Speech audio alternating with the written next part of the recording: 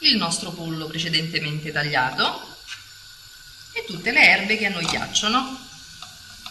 Andiamo ad aggiungere dell'aglio,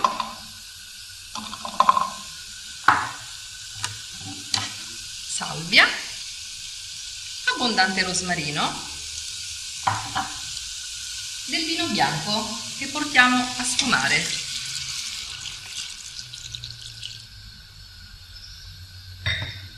Saliamo pepiamo con pepe nero. Amalgamiamo bene il tutto e copriamo con Magic Cooker lasciando a fuoco vivace per almeno 5 minuti.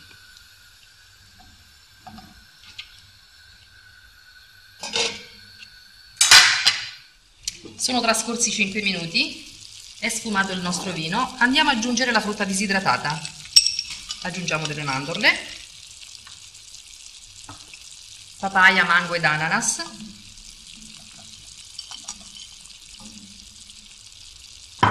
uva sultanina,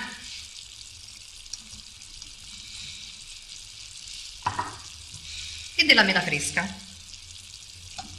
La mela fresca per ammorbidire e lasciare il giusto grado di umidità, visto che il liquido di cottura si è tutto asciugato. In questo caso uniamo anche un filo d'olio. A piacere del peperoncino per chi ama l'agrodolce piccante.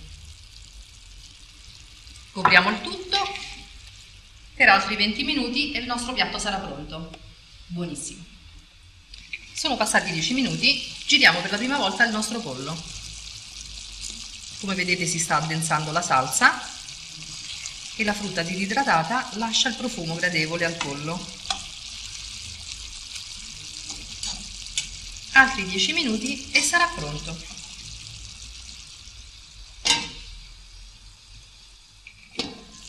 Da inizio cottura sono trascorsi 25 minuti. Se volessimo caramellare la frutta ancora un pochino, per altri due a fuoco vivo, sempre con Magic Cooker, e poi togliamo dal fuoco. Signori, il nostro pollo è pronto.